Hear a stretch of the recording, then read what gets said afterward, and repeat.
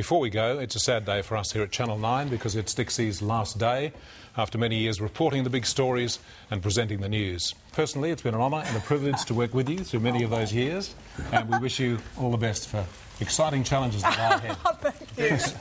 Oh, You've been an absolute star for Channel 9. You're a, legend at the station, and uh, out there, you don't know how brilliant she's been for us, and we really are going to miss you. I'll miss you too. Um, good night, Say everybody. goodnight. Goodbye. See you later. Well done.